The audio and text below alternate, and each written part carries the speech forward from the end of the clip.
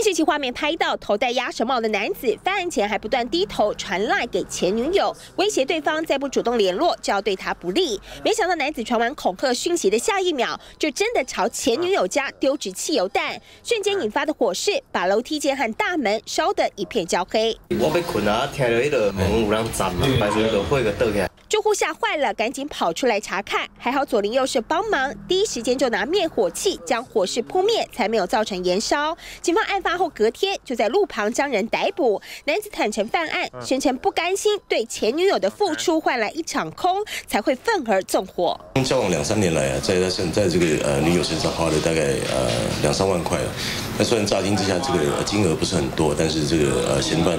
啊，他这个是以呃在工地啊打工的这个方式谋生啊，所以他自己啊也觉得说，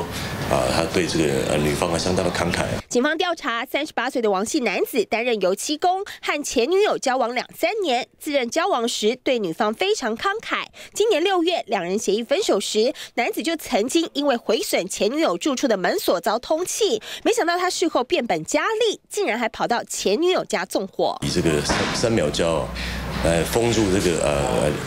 被害人这个呃住宿的门口，还有机车的大锁，限制他的行动。还好火势没有造成人员伤亡，但只是因为不甘心交往时的金钱付出，就要纵火烧房子，离谱行径让这名恐怖情人必须为自己的行为付出代价。记者赖冠章、包金莹台南报道。